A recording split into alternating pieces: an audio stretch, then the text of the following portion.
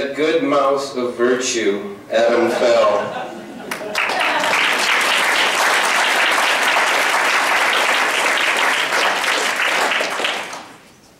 Hey, thank you, Matt, and thank you guys all for coming. This is really lovely. Um, I, I wrote a love letter. Dear Corporation, my love, before you, this dehydrated piss of mine was such a lonely shade-grown coffee.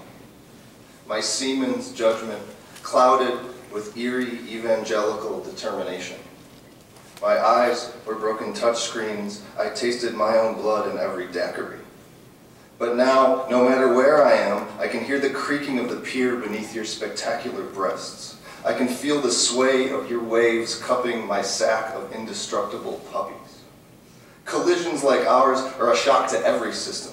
Politicians never counted on us. Wall Street never counted on us. The cadaverous yuppies and their screaming vegan babies never commented, never counted on us. Dang it. Investment bankers swear they keep seeing us in their zeros and ones like belligerent binary Marys. They feel our fingers in the throats of their housing bubbles, our teeth foreclosing on the backs of their tender, uninsured napes.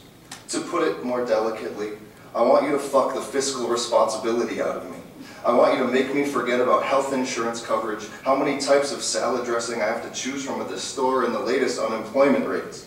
My love, come home and skin the rabbit with me.